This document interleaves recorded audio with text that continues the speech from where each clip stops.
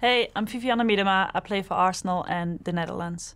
I think obviously after winning it in 2017, it's not really um, the same team anymore. I think a lot of countries around us have made massive steps. Um, I wouldn't say we go in as a favourite. I think we've got, um, if everything is right, we can be a dark horse. But I think there's countries like England, Spain, Germany who are all better than us. Um, and I'd like to put the pressure on them instead of on ourselves a lot of different experiences shaped me in the player and person I am right now.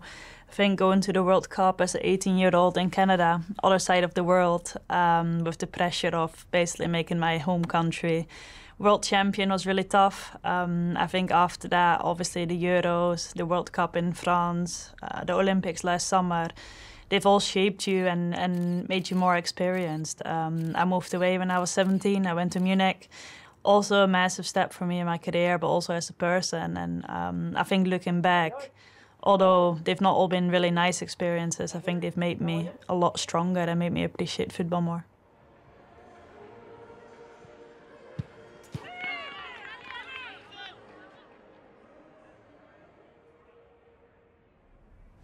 I think with being out in a tournament or like being injured or being sick, um, I think people always forget that it's not just you feeling it, it's not you, just you living it. It was obviously really frustrating for me to pick up COVID after the first game.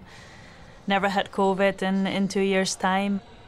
Um, but yeah, then you start realizing what actually has happened, and I think that's the moment that is even even worse because when you first feel bad, that's the only thing you're focusing on. But then after that, you obviously focus on having missed the game. Um, I was sitting alone in my room on the FaceTime to, to Sarri and Shaki at that moment. And um, to be really honest, we were all crying, obviously, when the national anthem was on. Um, it's just been devastating not to be part of the team, not to help the team.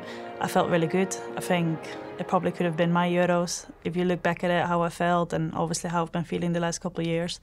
But it's also football, and obviously, um, yeah, I really hope that we've got a chance to, to do things better at the World Cup next year.